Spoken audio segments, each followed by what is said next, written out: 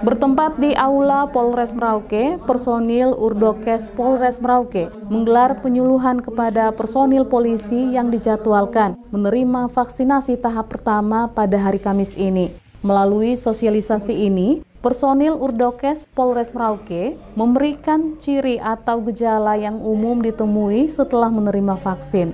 Selain itu, penerima vaksin diminta untuk tetap mematuhi protokol kesehatan karena penerima vaksin tidak secara otomatis kebal terhadap virus corona. Sementara personil Polres Merauke dijadwalkan menerima vaksinasi bersama Forkopimda Kabupaten Merauke. Untuk agar semua anggota Polres Merauke mengetahui bagaimana tahap-tahap pelaksanaan vaksinasi COVID-19 nanti, eh, serta indikasi dan kontraindikasinya pelaksanaan buat kami yang tenaga kesehatan uh, yang didahulukan itu kemungkinan minggu depan. Minggu depan ya.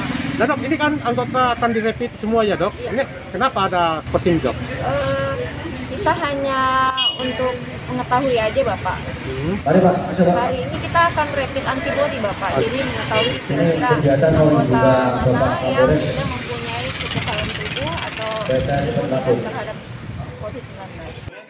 Sementara sebagai langkah pencegahan, personil Polres Merauke yang tercatat sebagai penerima vaksin diwajibkan menjalani pemeriksaan awal berupa tes cepat. Syarif Jimar, Kompas TV Merauke, Papua.